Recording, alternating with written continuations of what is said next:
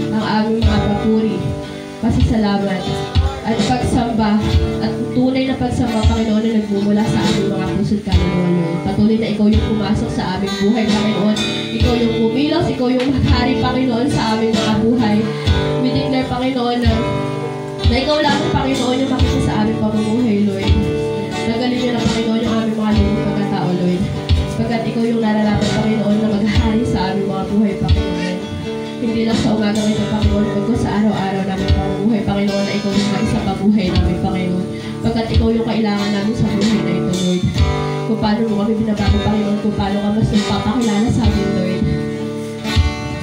Maraming salamat po. Sa inyong pinakamataas na papuri, pasasalamat. At lahat-lahat ng aming pagsamba ay karapat-dapat sa iyo, aming Ama. In the name of Jesus, we pray. Amen. Bigyan natin sa Lord yung pinakamataas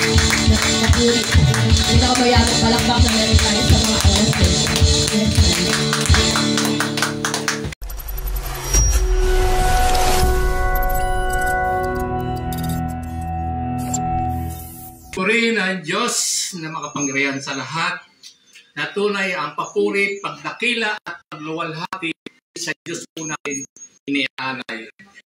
Sadyang napakabuti po ng ating Panginoon sa pagkakataong ito na muli po tayong lahat ay makakapakinig ng salita ng ating Diyos. Sapagat ang salita ng ating Panginoon ang siyang nagbibigay po sa atin ng kalinawagan ng ating kaisipan, sapagat ang salita ng ating Diyos ay siyang nagbibigay ng buhay. Kaya marapat lamang na pinupuri, dinadakila, niluluhati natin ang Diyos na makapangyarihan sa lahat na siyang tumawag at nang siyang pumili sa bawat isa. Kaya kalabitin mo yung mga katabi mo na handa ka na bang makinig sa salita ng ating Panginoon. Yan. Yung mga natutulog, mamaya na kayo matulog.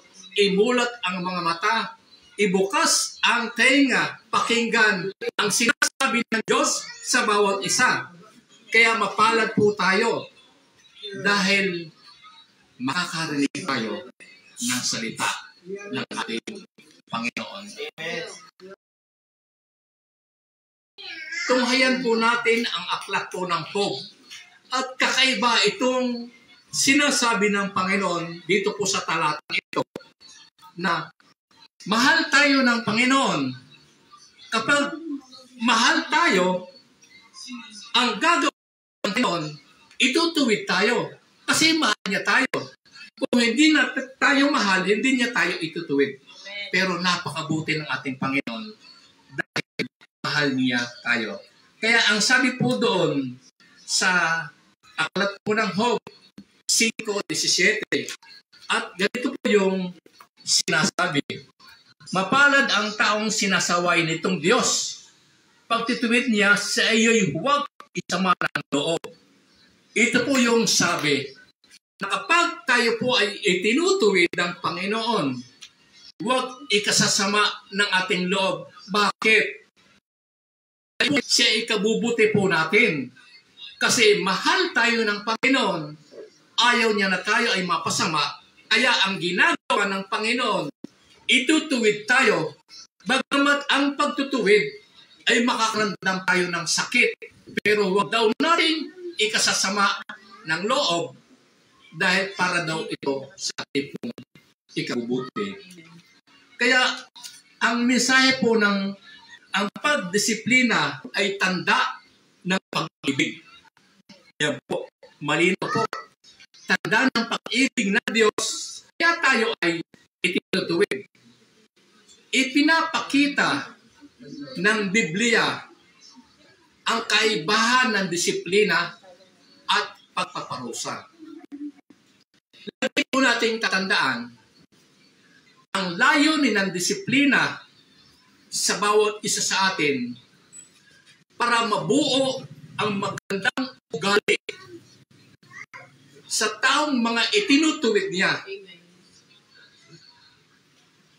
At lagi itong nakatuon sa pagtuturo, pagtutuwid, pagpapabuti sa bawat isa sa atin. Madalas may kasama itong sakit. Kapag tayo ay tinutuwid, hindi ba nasasaktan tayo? Kasi ito yung nais ng Panginoon, kapag tayo is tinutuwid, magalak tayo, matuwa tayo. Dahil ayaw ng Panginoon na tayo mapasama at yung pagtutuwid niya, ito ay ikabuti natin.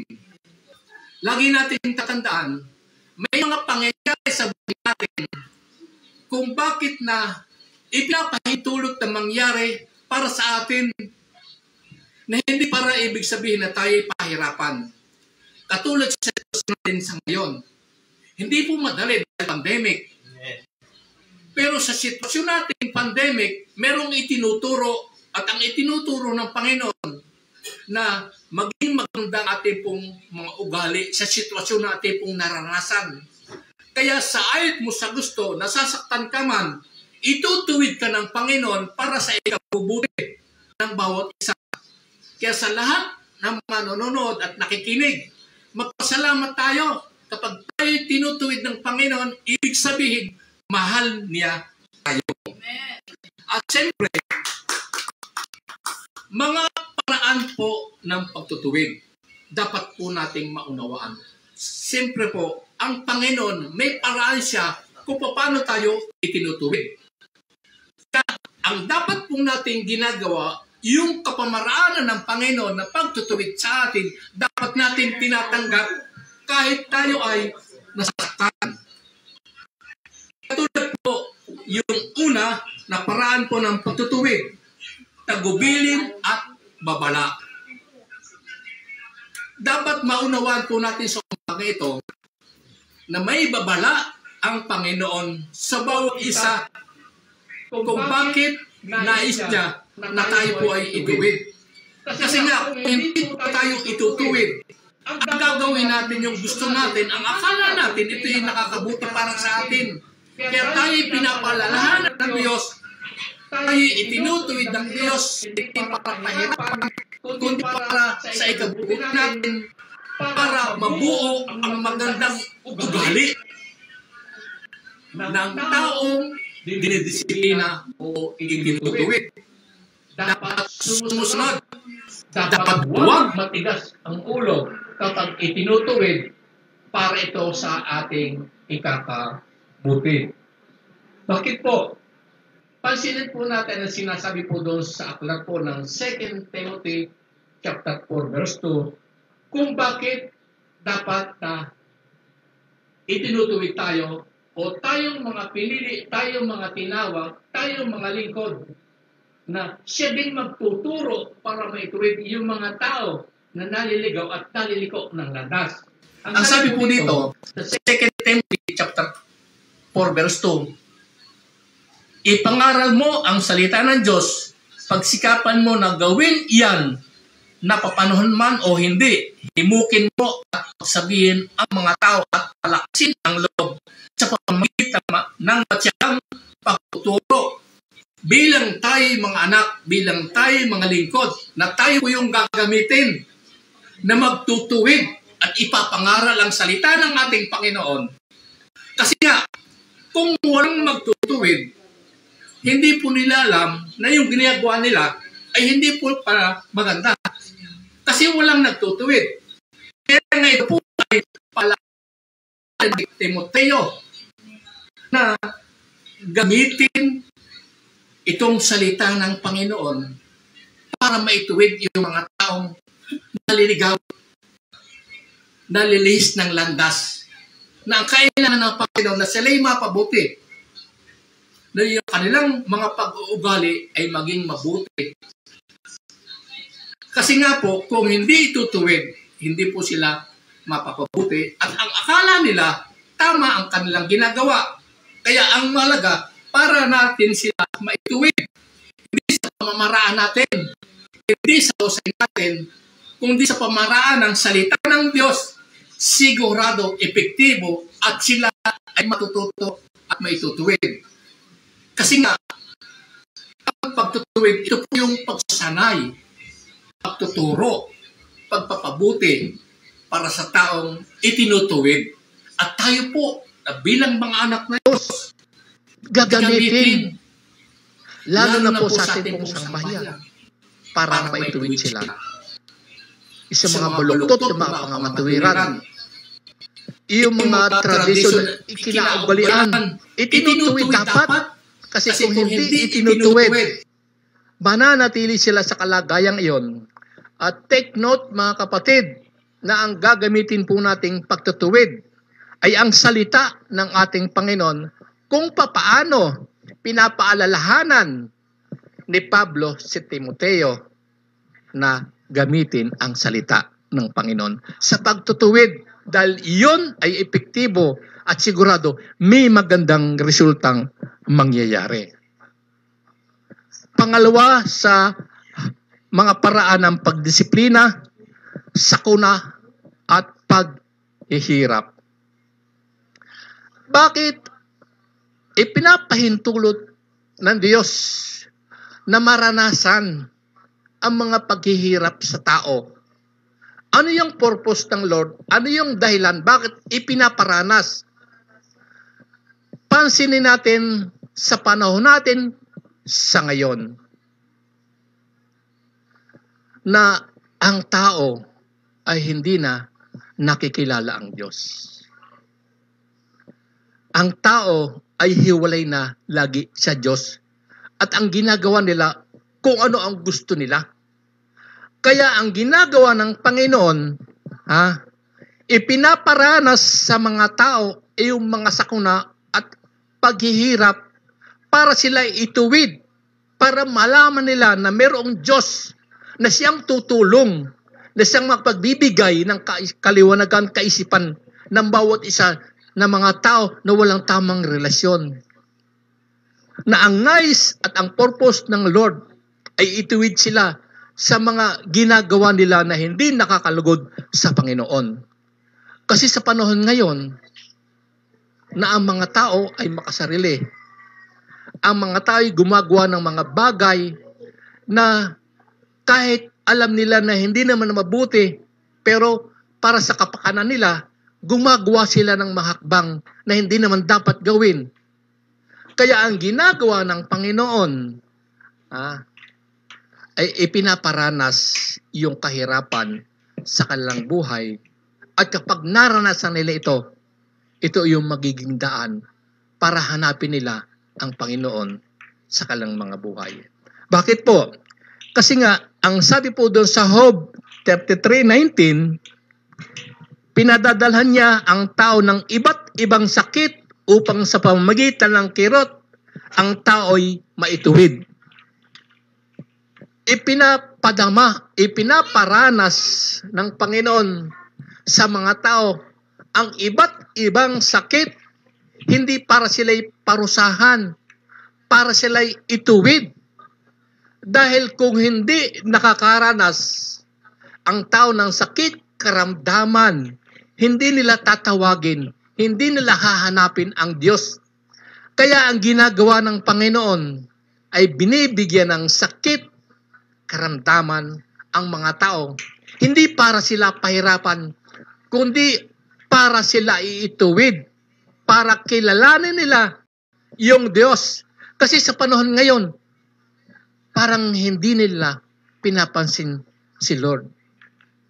Kaya ang ginagawa ng Panginoon, gagawa siya ng iba't ibang kapamaraanan para ang tao maliwanagan, para kilalanin ng tao ang Panginoon lamang ang dapat nilalapitan. At ang Diyos ang siyang nagpapagaling. Ang Diyos ang nagbibigay ng mga pangangailangan.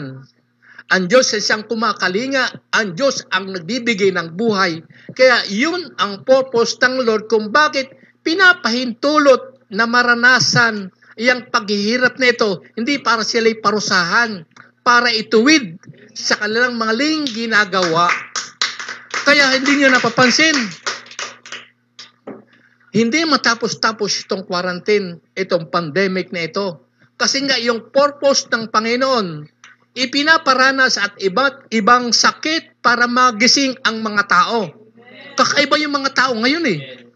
Talagang gumagawa na sila ng hakbang sa kapamaraanan nila kahit makasakit ng kapwa. Ang iba pa nga pumapatay. Kaya ipaparanas ng Panginoon itong iba't ibang sakit, hindi para tayo ay parusahan, upang sa pamagitan ng kirot, ang tao ay maituwid. Kaya pala nararanasan ng mga tao. At kahit sa Old Testament, ganun ang ginagawa. Kung papaano itong mga Israelite, napakatigas ng ulo. Kaya anong ginagawa ng Panginoon? Hindi ba misan misalot? Misan kung ano-anong sakuna? Kasi ginigising itong mga Israelitang ito. Sa sitwasyon na naranasan at sila'y naghihirap, tumatawag sila sa Panginoon. At kapag sila'y tumawag sa Panginoon, pinapakinggan, inire-restore. Kaya ganon din yung bawat isa. Ganon ang ginagawa ng Panginoon na binibigyan ng iba't ibang sakit ang mga tao na hindi para pahirapan, para gisingin. Dahil yon ang purpose para sila ay ituwid ng ating pong Panginoon. At siyempre, mga layunin ng pagdidisiplina. Kasi napakabuti ng ating Diyos na buhay na pinaglilingkuran. Ang layunin niya sa pagdidisiplina ay para tayo po ay mapabuti. At ito po yung layunin ng Diyos.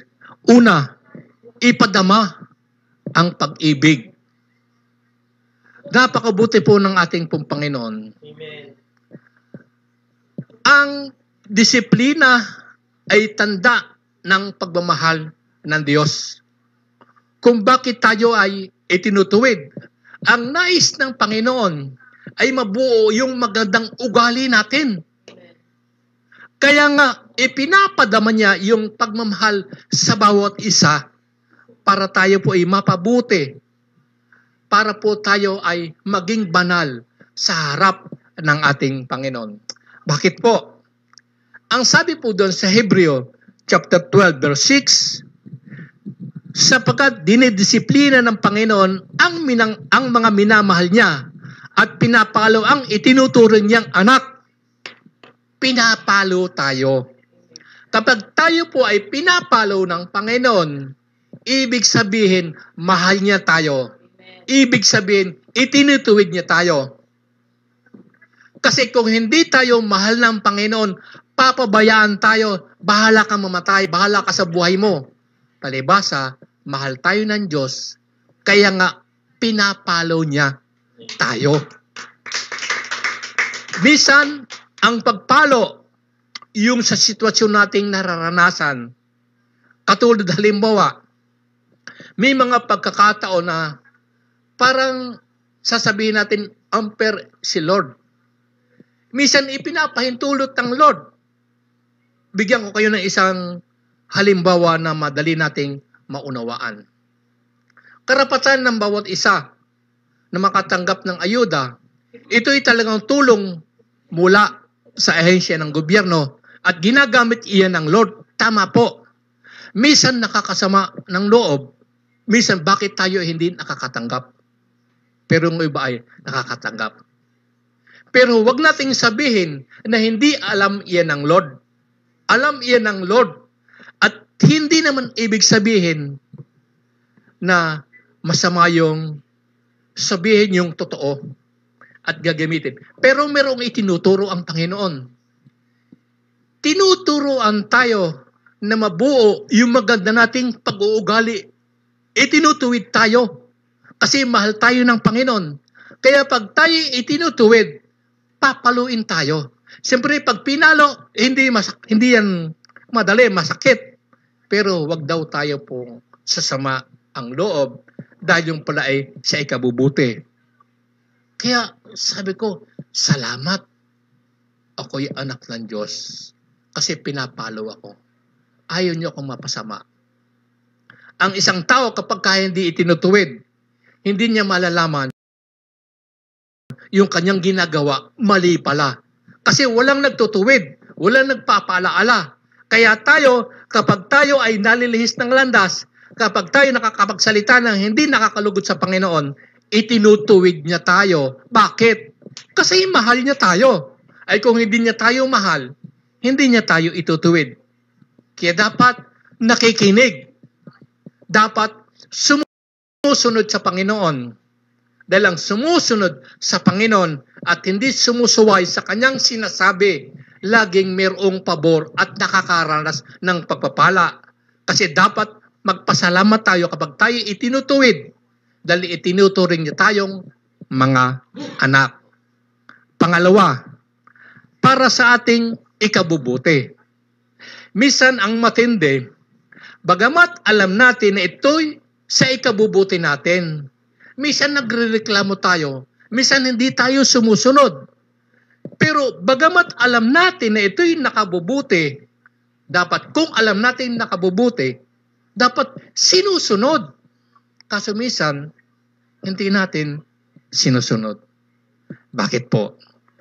Ang sabi po doon sa Hebrews chapter 12 verse 10, sa loob ng maikling panahon, dinidisiplina tayo ng ating mga magulang para sa ating ikabubuti. Gayon din naman, itinutuwid tayo ng Diyos sa ikabubuti natin upang tayo maging banal tulad niya. Iyon po yung purpose para sa ikabubuti.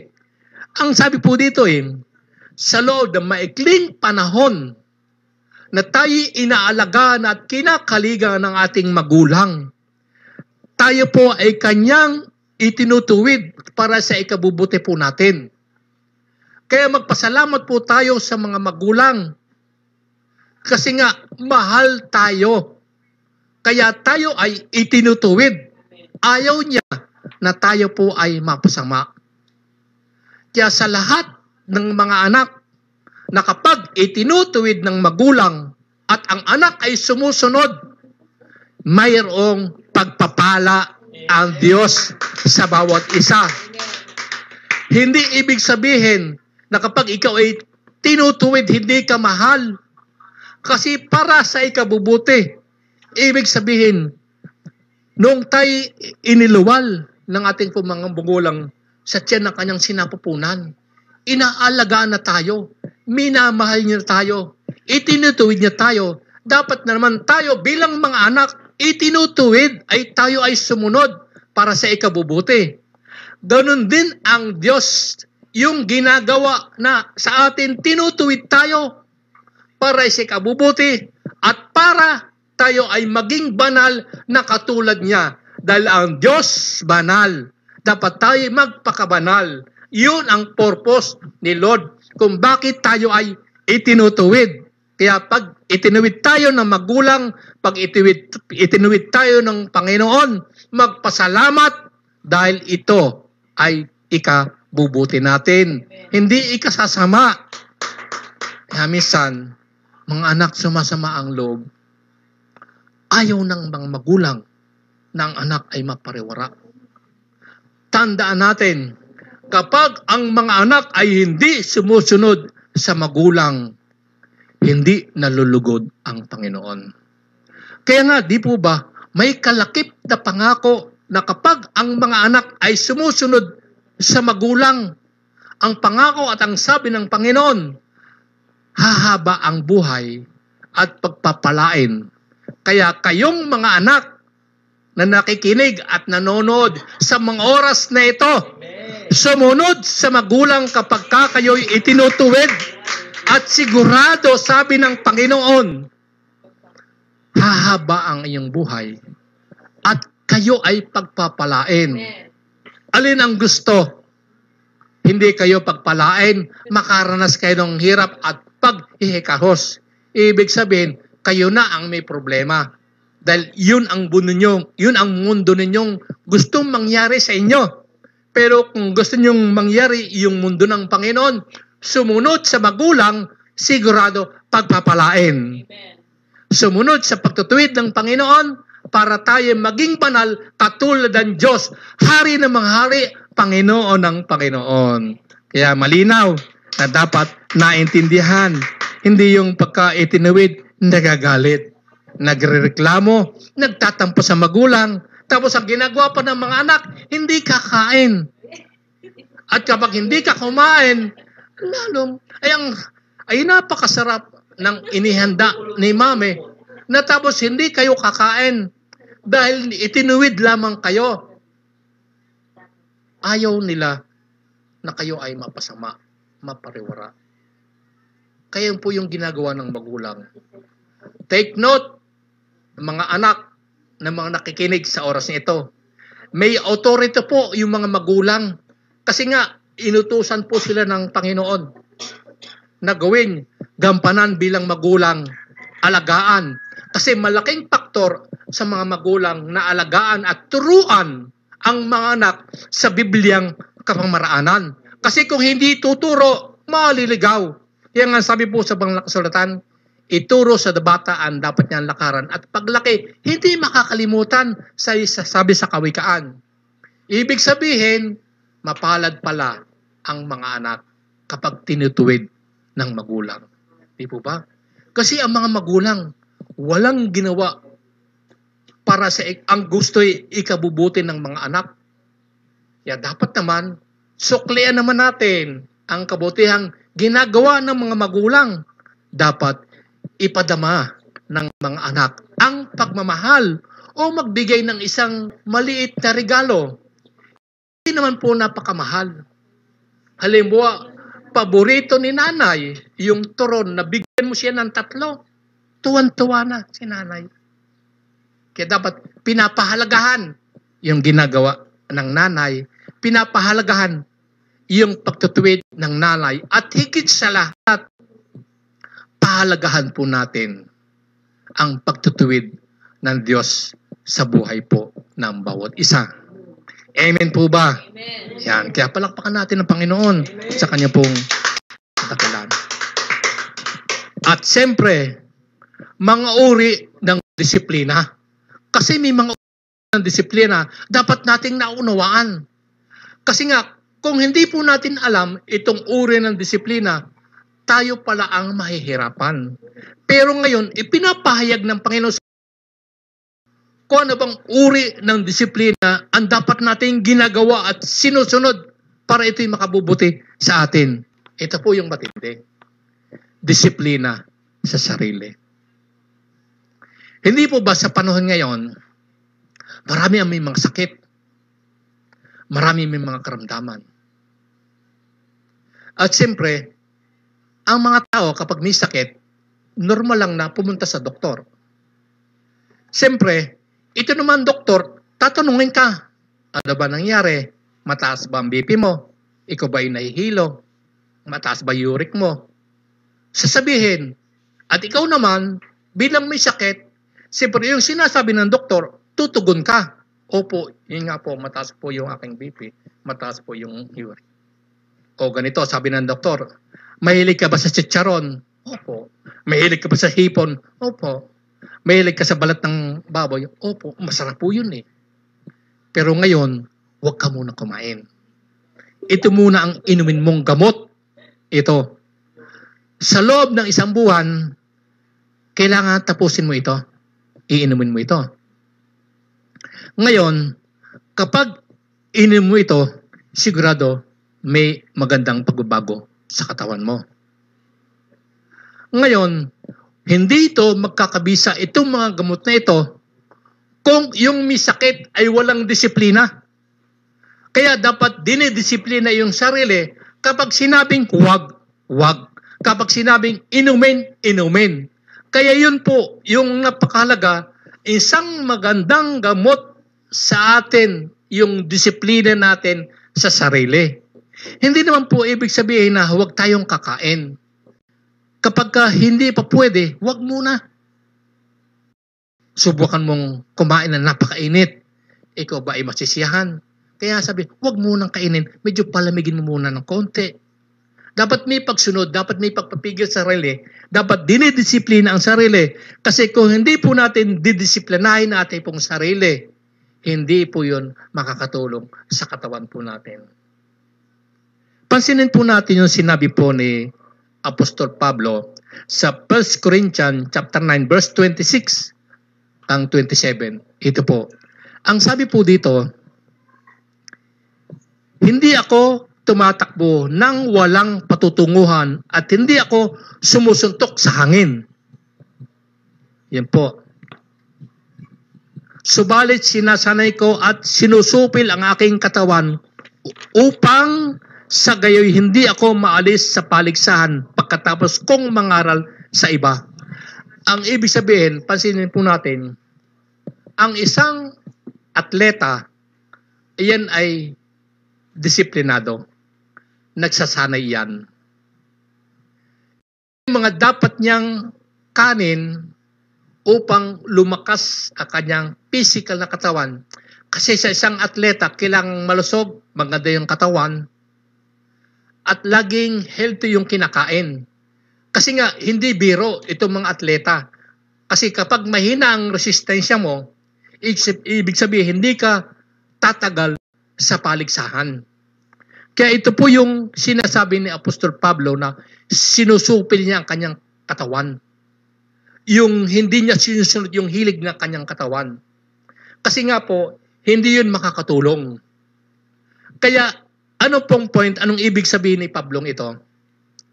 Na tayo bilang mga anak, tayo bilang mga lingkod ng Panginoon, dapat dinidisiplina po natin ang ating pong sarili kung paano ipangaral lang tama ang salita ng ating Panginoon. Kasi kung hindi po natin dinidisiplina ang ating sarili, sinusupil. Sa halip yung salita ng Panginoon ng ating pong ibabahagi, ay yung kaalaman at karunungan natin na may kasamang pagyayabang. Kaya dapat sinusupil, dapat tinuturuan katulad ng mga atleta na sinusupil nila ang kanilang sarili, natutulog ng maaga, kumakain ng maayos, at ang lagi po nilang kinakain mga gulay, yung pakinabang sa kanilang po mga katawan. Kaya gano'n din po bilang tayong mga anak, bilang tayong mga lingkod, dapat nakikita sa atin na kapag tayo po ay nangangaral, disiplinado tayo. Yung tamang pamamaraan na ayon sa salita ng ating Panginoon. Kapag tayo po ay nagsishare. Para nga, kasi nga, masasabihan tayo eh. Ganyan ma, ganyan ba yung mga born again na yan? Parang ang gagaspang ng mga ugali. Kaya ganun ang mga atleta na ang ginagawa nila, dinidisiplina nila yung sarili nila. At kaya nga yun po ang sabi ni Apostol Pablo, kapag hindi niya sinupil ang kanyang sarili, baka tanggalin siya sa paligsahan. Hindi siya qualified, hindi siya karapat-dapat. Kaya ganun din tayo bilang mga anak ng Diyos na maging karapat-dapat tayo sa paghahayag ng salita ng ating Panginoon. Kaya kung hindi natin didisiplinahin natin ang ating sarili, hindi tayo karapat-dapat sa paghahayag ng salita ng ating Panginoon. Kasi ang nais ng Panginoon, maging banal katulad niya.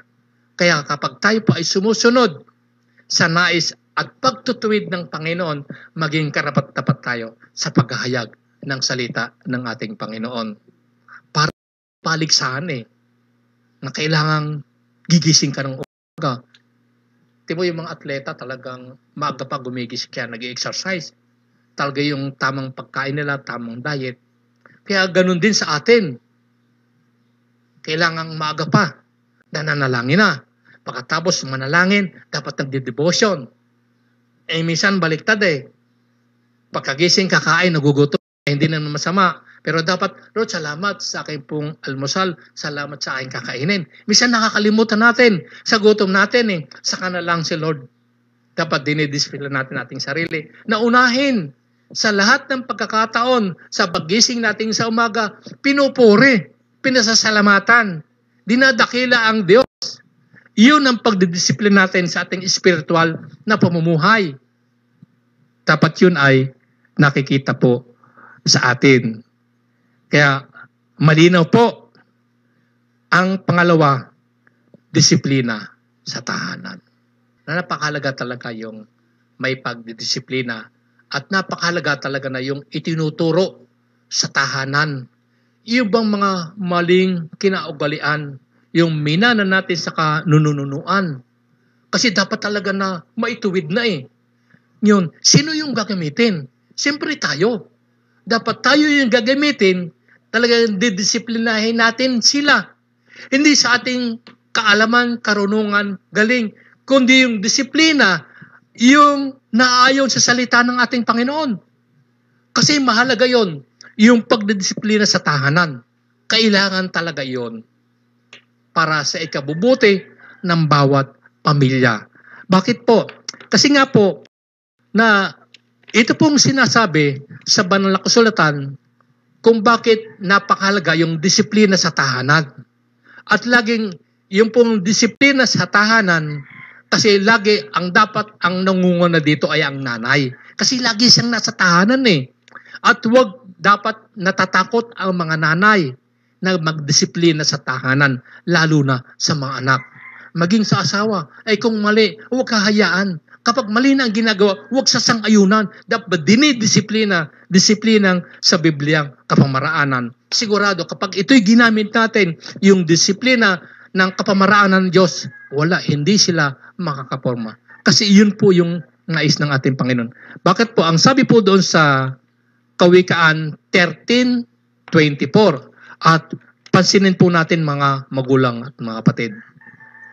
Mapagmahal na magulang, anak ay dinidisiplina.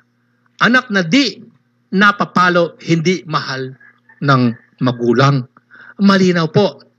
Dapat ang magulang hindi dapat mabait. Bakit? Kasi kapag mabait ang magulang, hinahayaan ang mga anak kahit alam niya na mali kasi mabait. Mga magulang, dapat kayo ay mabuting magulang, hindi mabait na magulang. Kapag mabuti, sigurado, itutuwid. Itutuwid sila. Kasi kapag mabait, hahayaan lang para hindi umiyak, ibibigay ang, ibibigay ang gusto para hindi magreklamo, ibibigay ang gusto para tumahimik, pero hindi yun makakabuti. Kaya nga, ang sabi, mapagmahal na magulang, anak ay dinidisiplina. Kasi dinidisiplina. Anak na di pinapalo, hindi mahal ng magulang. Kasi dapat pinapalo. Kasi pagtutuwid. Diba? Yung hindi ko saan tamaan. Kapag may nagawang mali na gusto nating ituwid, kasi yung palo, basid dito sa banal ng kasulatan, ay ito po yung pagmamahal. Kapag mahal mo ang anak mo, pinapalo mo. Kung hindi mo man gamitan ng stick sa pamagitan ng pangal, pagsasalita ng matuwid ayon sa salita ng ating Panginoon, pinapalo mo ang anak mo sa tamang kapamaraan. Kaya yun po yung nais ng ating pong Panginoon at ito po ay ipinapakita sa Biblia ang kaibahan ng pagdidisiplina at parusa. Dahil ang layunin ng disiplina, ito po ay tanda ng pagmamahal upang ano, mabuo ang magandang ugali doon sa mga taong dinidisiplina, itinutuwid. Kaya dapat gagawin natin to sa tahanan na itutuwid natin. Kung alam natin na mali, huwag nating sasang-ayunan. Kundi ang sang-ayunan natin kung ano ang sinasabi ng salita ng Panginoon dahil yun ang makakabuti sa bawat isa. Kaya ako po ay nagpapasalamat na kung saan doon sa maikling mensahe ng Panginoon na tayo po ay na liwanagan na naunawaan po natin ang paraan ng pagdisiplina at mga layunin ng disiplina at higit sa lahat mga uri ng disiplina. Dapat ito po ay ating pong tatandaan at dapat ito ay lagi po nating kinagawa sa bawat tahanan sa lahat ng aspeto ng ating buhay. At higit sa lahat, mga magulang at mga kapatid, kapag tayo ay itinutuwid ng Panginoon, huwag ikasasama ng ating loob dahil ito ay para sa ikabubuti po ng bawat isa. Kaya ang ating pong big idea, ito po, ang disiplina ay kailangan upang mabuo ang isang magandang ugali sa taong itinutuwid. Kaya malinaw po ang mensahe ng ating pong Panginoon. At kung yung mensahe ng Panginoon, yung salita ng ating Panginoon, susundin po natin, susundin ng bawat isa, na magiging maayos sa tahanan, magiging maayos yung relasyon ng bawat pamilya kung ang bawat isa sa atin ay susunod kapag tayo po'y tinutuwid ng mga magulang, kapag tayo'y itinutuwid ng Panginoon. Kaya kapag nakakaranas po tayo ng iba't ibang sakit, karamdaman, dapat tinatandaan po natin, may magandang layunin ang Panginoon. At kapag ipinahintulot ng Panginoon na iparanas yung sakit, siya din ay magpapagaling. Hindi kanya pababayaan. Tuturuan ka lang ng leksyon ng Panginoon para ikay maituwid, para kilalanin mo ang Diyos sa buhay mo. Kaya ipaparanas po sa atin yon mga sakit karamdaman, hindi para pahirapan, para tayo ay mapabuti, para po tayo ay maituwid doon sa ating pong mangaling ginagawa. Kaya purin po ang Diyos, nawa tayo po ay napagpala sa lahat ng mga nanood, nakinig ng salita ng Panginoon. Maniwala po kayo sa oras na ito, itinuwid na po kayo ng Panginoon.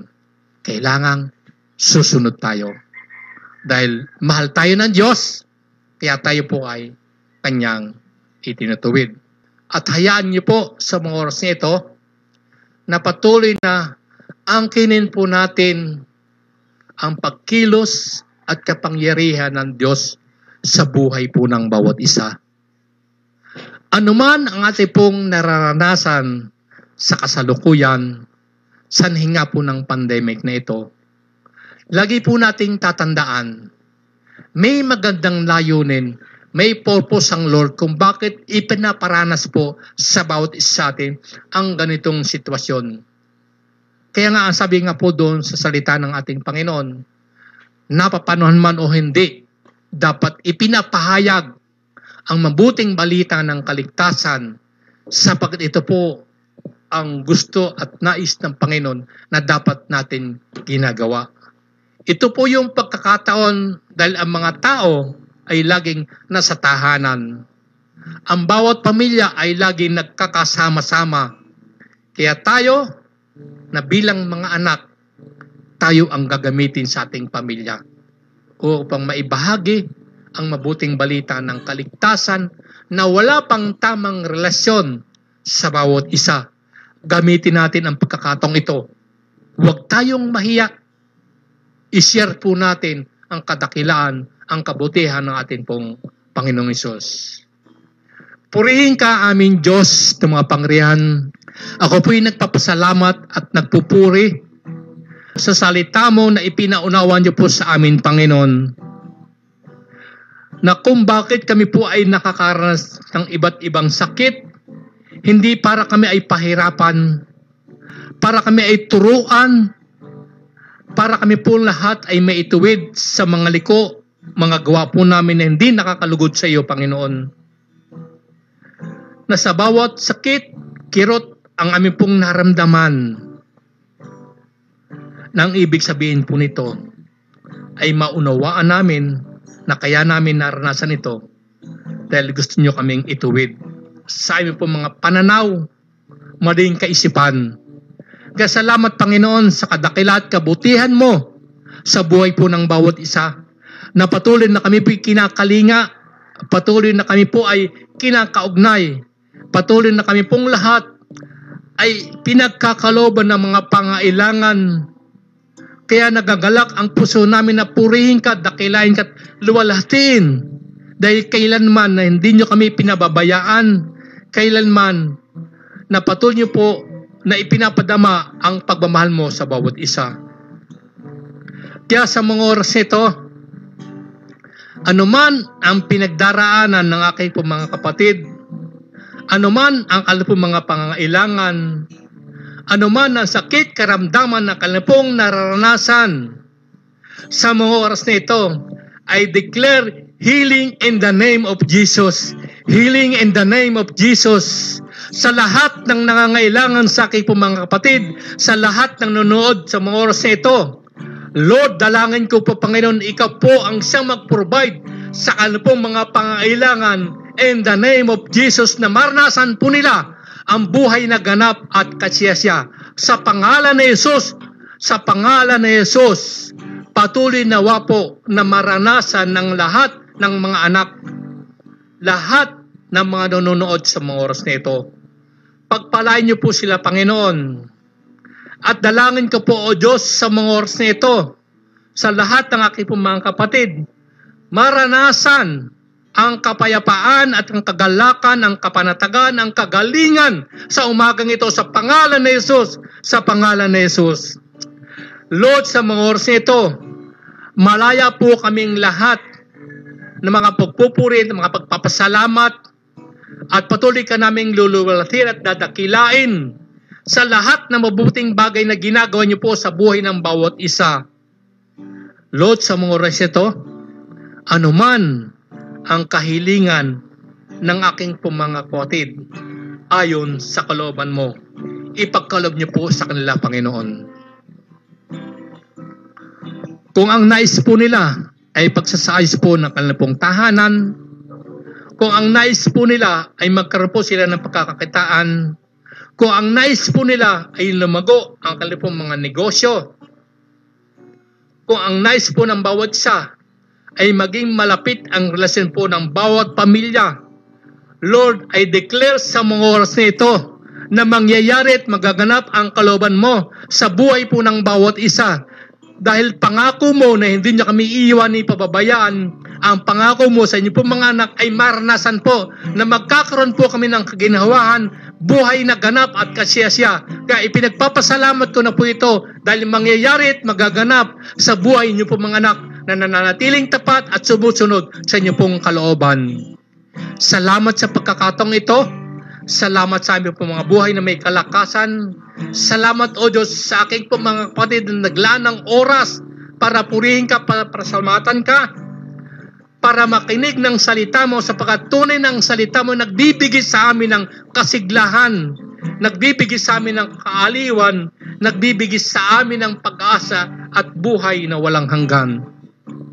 Kaya Lord, ang dalangin namin sa lahat ng pagkakataon ay patuloy na kilalanin ka namin na ikaw ang Diyos na makapangyarihan sa lahat.